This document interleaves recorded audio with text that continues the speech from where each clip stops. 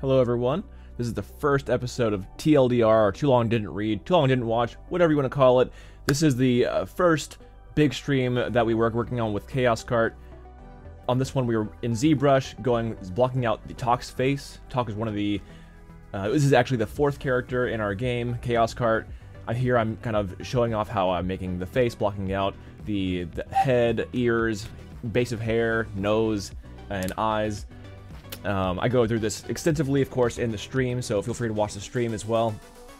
But yeah, I'm just going over how I'm basically bringing in these appendage tools and these basic spheres and basic shapes and everything, and really making little little bits here and there and here and there, and tweaking and tweaking to be able to uh, make this hair happen and, and full the silhouette from the con uh, the concept art.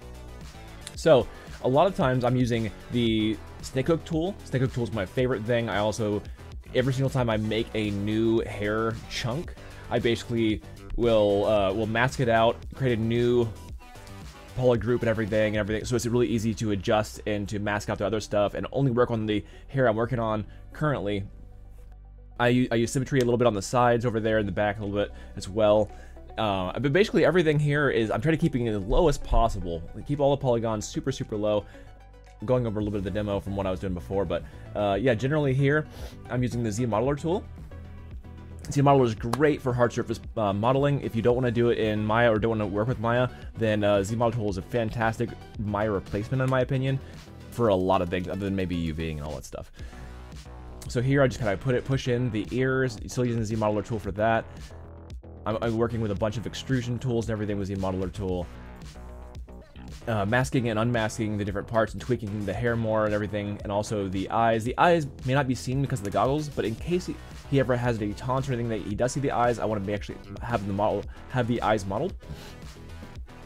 So here, um, tweaking the silhouette, trying to make it like flow well, the hair flow well. I'm making the the goggles, um, just using um, it was a, it was a really really cool topology tool. is fantastic for making things like that, like straps.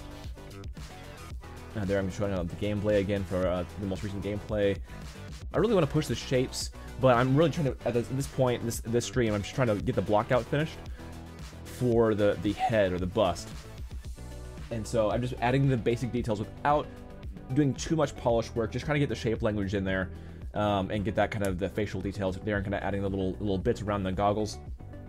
And just do it on one side and then mirror it over to the other side. I found it a lot easier just to work on one side and then mirror if I have it on both sides. Um, it's just a really, really cool way to do it. I'm sending in some renders for everyone to see on Discord, and I uh, hope you enjoyed this first episode of TLDR. Let me know if you guys liked it, and subscribe and watch my other streams. Thank you, bye.